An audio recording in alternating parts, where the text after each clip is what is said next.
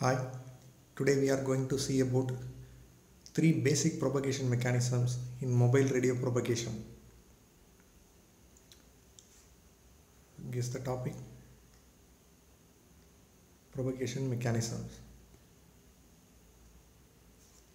Radio waves. The term radio waves are electromagnetic waves in the frequency range of 0.001 Hz to 10 power 16 Hz the wavelength ranging from 3 into 10 to the power of minus 8 meter to 3 into 10 to the power of 11 meters. Radio waves comprises of both electric and magnetic fields. The classifications of radio waves is given as tabulations in this slide. The different types of radio waves are extremely low frequency, very low frequency, low frequency, medium frequency wave, high frequency wave, very high frequency wave, ultra high frequency wave, super high frequency wave and extremely high frequency wave. From extremely low frequency to extremely high frequency, the frequency ranges from less than 3 kHz to 300 GHz. The classification of radio waves is given in this pictorial representation and the different frequency ranges are used for different applications. The very low frequency is used for maritime radio navigation whereas the ultra high frequency range is used for television, mobile phones like that. Propagation mechanisms involves line of sight, reflection, diffraction and scattering parameters. Line of sight transmission. Line of sight is a type of propagation where transmit and receive stations are in view of each other. Any sort of an obstacle does not exist between them. FM radio, microwave and satellite transmissions are examples of line of sight transmission activity draw a logo which may describe your character or thing you like. Next reflection.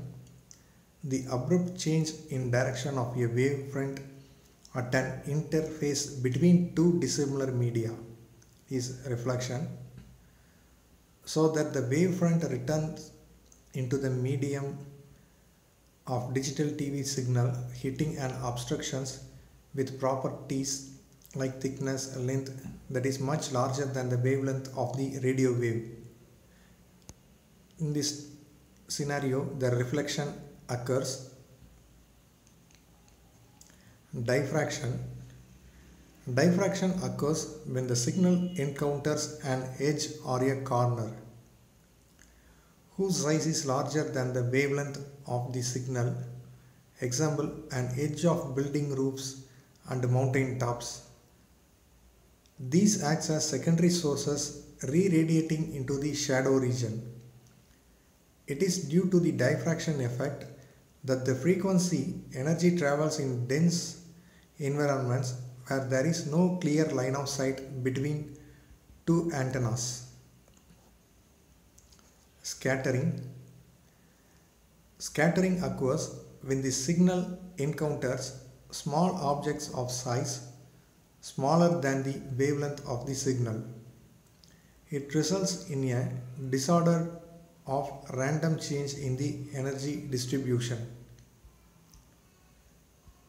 In smooth surface, spe specular reflection occurs but in rough surface, along with specular reflection, scattering occurs. occurs. Multipath propagation is that multiple copies of a signal propagation taking multiple paths arrive at receiver at different times. Signal received at a point affected by the interaction of signals propagated is the multipath propagation. Next small scale fading Small scale fading is concerned with rapid fluctuations of received signal strength over very short distance and short time period. It depends on propagation environment. The large scale fading occurs when an obstacle comes in between transmitter and receiver. It is related to large fluctuations of the signal over distance. It includes path loss and shadowing effects. The assessment questions are given in this slide. First one is the rainbow pattern seen on a CD is an example of reflection or refraction or diffraction or none of the above. Fresnel reflection coefficient is a factor of polarization of the wave, properties of the material at which reflection occurs, angle of incident of wave. In this, the first and second statements are correct or first and three or second and three or all the three are correct. Which one is correct one? Diffraction at high frequencies depends upon first one geometric of the object or polarization of the incident wave or amplitude of the incident wave or frequencies of the incident wave. And the third question which combination is correct or all the three are correct. Thank you.